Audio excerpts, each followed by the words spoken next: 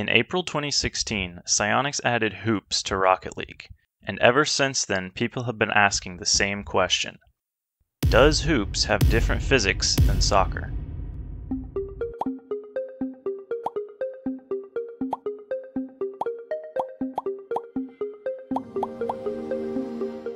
Now, there are a lot of different opinions on this. Some people think that the basketball is heavier, and some people think that it's lighter. Some people think that the basketball is bouncier, and some people think that it's less bouncy. Some people think that the basketball is smaller, and some people think that it's bigger, and that the gravity is different, like in drop shot. There's a lot going on with that one. On the other side of the argument, though, a lot of people think that the physics are exactly the same. Most of these people argue that the physics only feel different because of the difference in the map. Which is true, the dunk house is smaller and has sharper corners than the standard soccer map. Some people even tried to get Psyonix to comment officially on the matter, but they never heard a response. That is, until Devin, the community manager for Psyonix, joined the Hoops Discord server. After being asked directly if Hoops has different physics than soccer, he first responded with an uncertain I don't think so, and then with a more confident no. But after a few more minutes, he checked with Psyonix principal engineer Cone, who ambiguously confirmed that the ball bounces differently. We asked for something more specific, but it was late and Devin didn't want to bother him. We never heard from them again, so we decided to take it into our own hands, do some scientific tests, and find out the answer to end the debate once and for all. To start, we programmed our own custom BakkesMod plugin to mine some data values from the game. For info on how to make your own BakkesMod plugin, you can go to the BakkesMod SDK GitHub page and join the BakkesMod Discord. Links for those will be in the description below.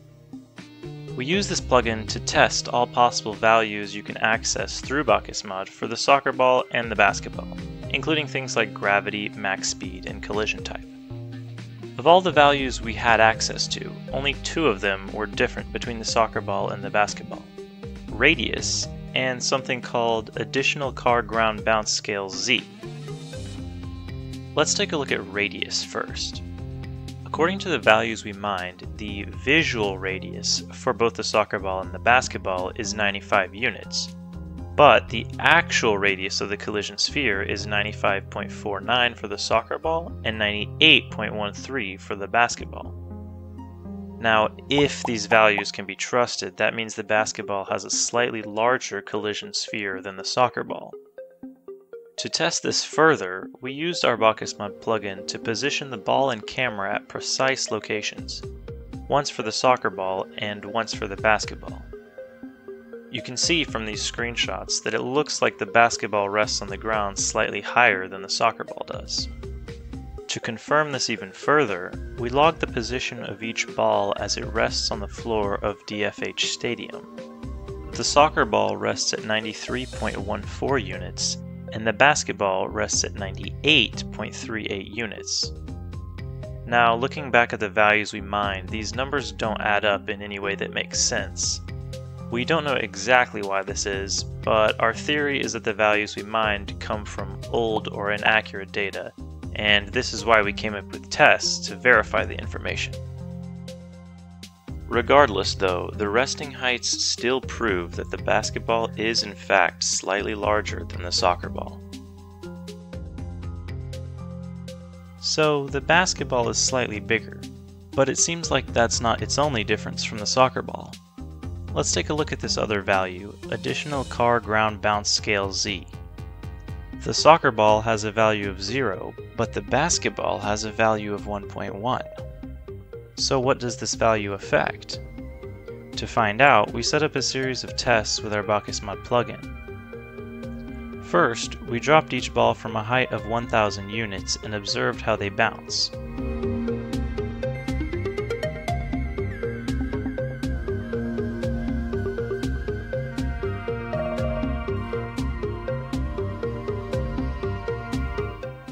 They seemed about the same. We also logged the positions of each ball and compared those logs. As you can see, the bounces are almost identical and the very slight difference can be accounted for by the size difference we discovered earlier. For our second test, we dropped the ball from the same height but with an initial spin. When the ball collides with something while spinning, its velocity changes slightly in the direction of the spin, and this test checks if that change in velocity is different. The bounces are still almost identical, and the very slight difference can still be accounted for by their radius difference.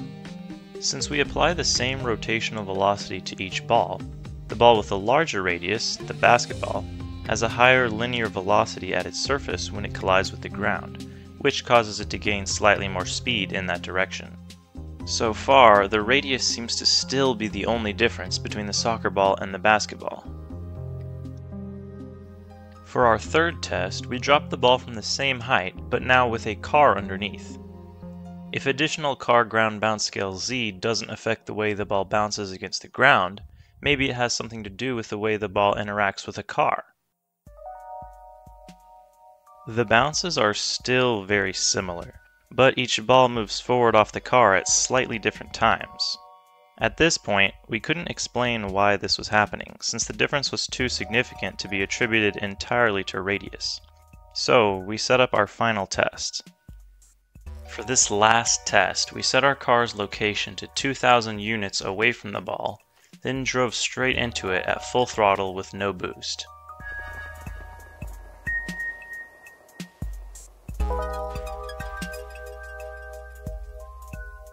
These bounces are significantly different.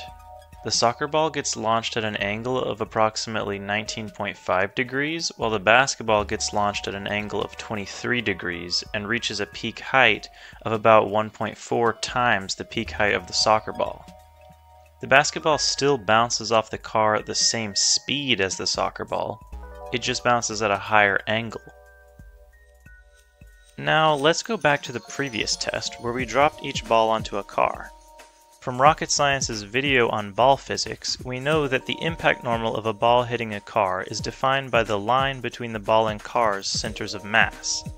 Basically, the car's collision volume is a box, but the ball doesn't bounce off of it as if it was just a box. Instead, it bounces off of it as if it was a curved object, and the angle that it bounces off is determined by that line. This is why you can drive around while balancing the ball on top of your car, and why when you drive straight into the ball, it goes up instead of straight forward. In that test, the basketball stays above the car for longer than the soccer ball, meaning the impact normals of the bounces for the basketball are more vertical than the impact normals of the bounces for the soccer ball, even though the ball collides with the same point on the car. This lines up with our previous test where we saw the basketball bounce at a steeper angle when hit with the front of the car.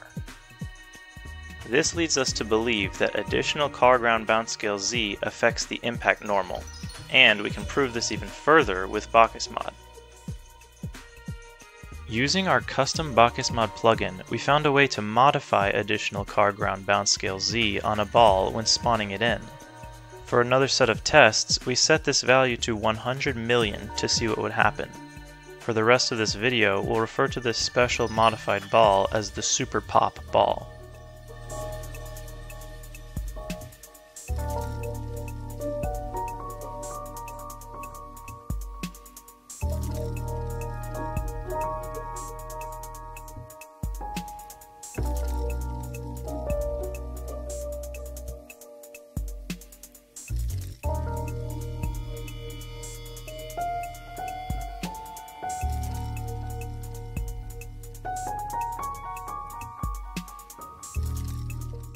For test 3, the ball stays on top of the car for much longer than the soccer ball and the basketball.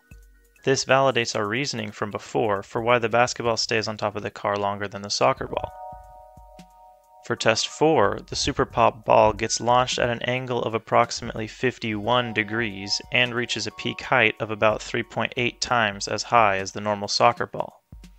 This trajectory is much steeper than the soccer ball and the basketball. This leads us to our conclusion.